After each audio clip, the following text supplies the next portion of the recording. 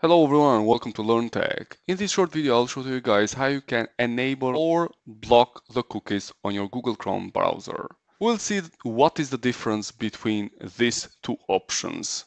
But first of all, let's find these settings on Google Chrome browser.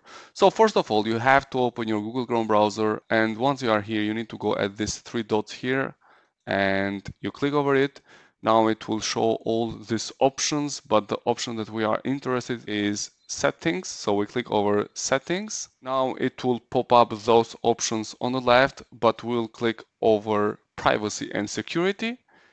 And here we are. Now we click over cookies and other site data. We click over here. And now we have those possibilities. One of them is to allow all cookies and in this way sites can use cookies to improve your browsing experience for example to keep you signed in or to remember items in your shopping basket. Sites can use cookies to see your browsing activity across different sites for example to personalize ads by clicking over this, you are allowing all the cookies. Then we have this possibility, which is block third-party cookies. Sites can use cookies to improve your browsing experience, for example, to keep your sign in, etc., etc. But those sites cannot use your cookies to see your browsing activity across different sites those features cannot work on some sites. And actually, when I blocked third-party cookies, I was not able to open Outlook on the web. So that's why I had to allow all cookies. So I'm able to log in to different websites and those websites will remember the passwords that I have entered on them. Then we have the last option, which is block all cookies, which according to Google Chrome, this is not recommended because sites cannot use cookies to improve your browsing experience. Sites cannot use cookies to see your browsing activity and features on many sites may not work. What you can do is that you can block all cookies if you want and then over here you can add some of the sites that you will give this kind of permissions.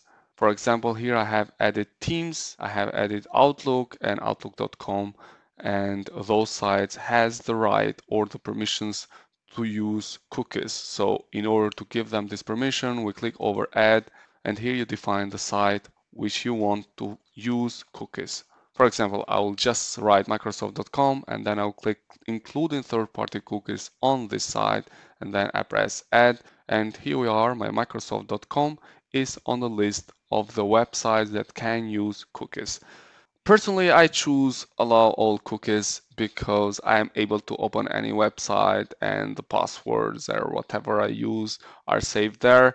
This is not the best in case that you are worried maybe for the privacy of your data, etc., etc. The middle choice would be block third-party cookies in this case and if you are really very worried about the privacy and the security then you can choose block all cookies. So basically those are the options regarding cookies on Google Chrome. You can allow the cookies or you can block all cookies or you choose the middle one, block third-party cookies.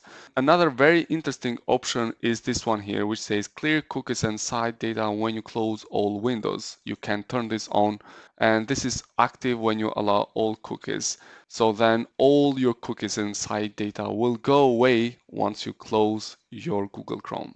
I think that this is a good option in case that you don't want your cookies to be saved on your Google Chrome browser. So you just allow all cookies and then you choose this option, clear cookies and site data, and those data will be cleared from your Google Chrome browser. That's all that I wanted to share with you guys. I hope you like this video and please do not forget to subscribe. Wish to you all the best. Thank you.